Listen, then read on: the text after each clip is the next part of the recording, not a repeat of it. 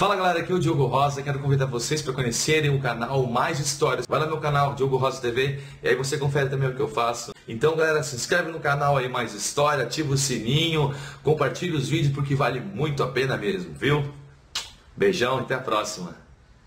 E aí galera, sejam bem-vindos ao Mais História. E hoje eu venho trazendo para vocês um tema que foi muito pedido aqui no canal, a história da língua francesa. Mas antes disso, não esqueçam de se inscrever no canal, de curtir o vídeo e de compartilhar, que isso ajuda muito na divulgação.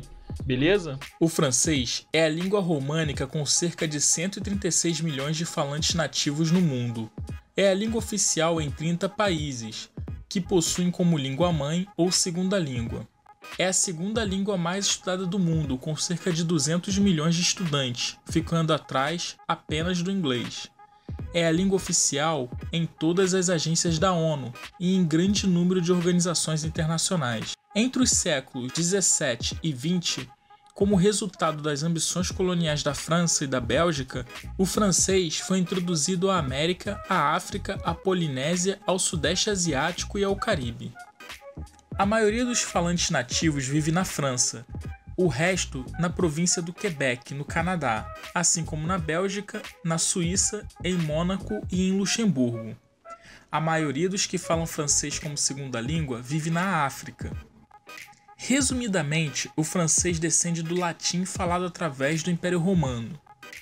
Seus parentes mais próximos são as demais línguas de Oil e as línguas crioulas baseadas no francês, que são mais recentes. Seu desenvolvimento também foi influenciado pelas línguas celtas nativas da Gália antes da chegada dos romanos e pela língua dos invasores francos após a partida dos romanos.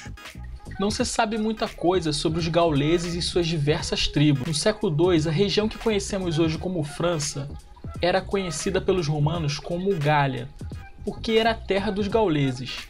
Não havia nessa época uma união linguística nessa região, havendo um grande número de línguas e dialetos célticos. Pera aí que eu acabei de receber uma mensagem, pera aí. Ih, rapaz, César quer que a gente invada a Galha correndo. Vambora, vambora, vambora. O Império Romano conquistou toda a região e logo o latim passou a fazer parte da vida daqueles povos. Ser capaz de falar latim era sinônimo de status social, oportunidades econômicas e poderia trabalhar para o governo.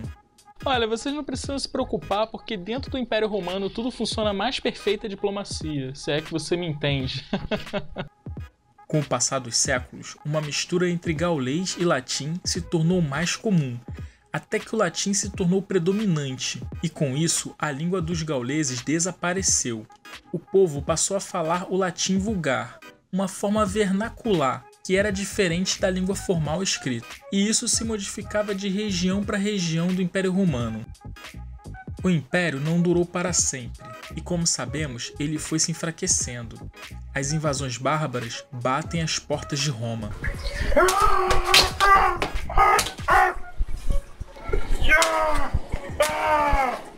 As invasões começam por volta do século IV, esses povos germânicos gradualmente foram tomando os territórios do império.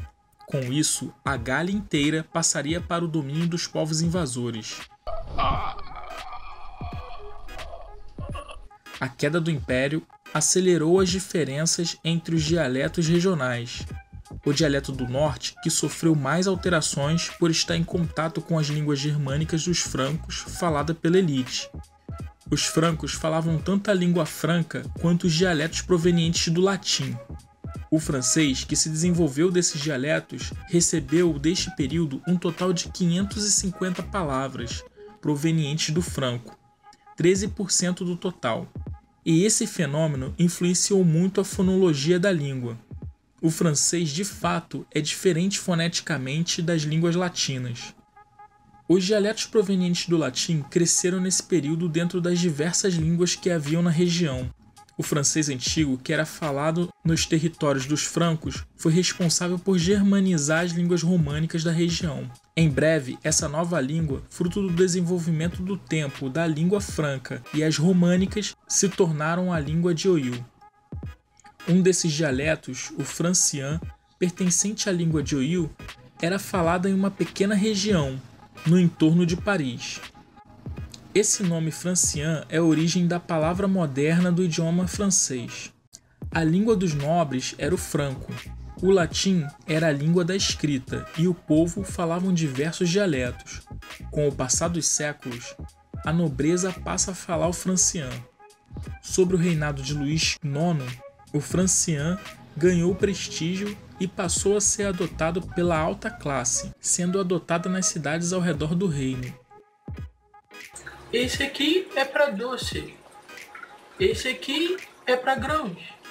E esse aqui é para enfiar no teu bucho. Ah! A população no geral ainda falavam diversos dialetos. O latim continuava a ser uma língua da educação, da leitura, das cortes e do mundo católico, no governo de Filipe IV, o francês passou a ser usado como linguagem oficial de documentos e de governo, passando assim a ser a segunda língua escrita a ser usada, junto com o latim. Durante o período que representa o francês médio, a língua sofre muitas transformações, principalmente na pronúncia. Durante a Renascença, a influência cultural italiana fez com que mais de 8 mil palavras do italiano entrassem na língua restando 800 palavras desse período nos dias atuais. No reinado de François I, foi ordenado que se passasse a usar o francês no lugar do latim. A igreja foi contrária a essas mudanças, mas não tinha muito o que ser feito, não obtendo êxito. Com a criação da imprensa, mais pessoas poderiam ler em francês. Livros eram produzidos mais rápidos, substituindo os antigos e lentos copistas. No século XVII, o francês tomou o lugar do latim como língua do mundo católico e da Europa. Neste mesmo período, foi lançada a gramática francesa, gerando um padrão do francês.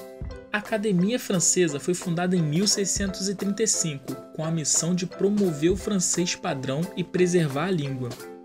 Mesmo com todo esse progresso, poucas pessoas falavam francês, sendo a maior parte da população falando dialetos diversos. Em 1880, a educação universal foi estabelecida, sendo o francês a língua da educação, a única permitida para ser falada dentro das escolas. No século XVIII, o francês se tornou uma língua da diplomacia internacional e de documentos internacionais, ganhando um status como o inglês é hoje. De fato, o francês era a língua mais importante até o início da Primeira Guerra Mundial, Graças ao imperialismo francês, a língua se espalhou pelo mundo, tendo o Império Francês alcançado a segunda posição no século XX, perdendo apenas para o Império Britânico. Essas colônias não existem mais, entretanto, a língua permaneceu.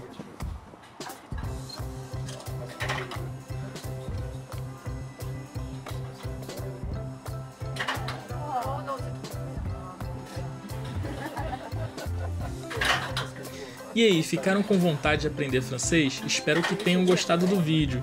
Não esqueçam de se inscrever no canal e deixar aquela curtida no vídeo.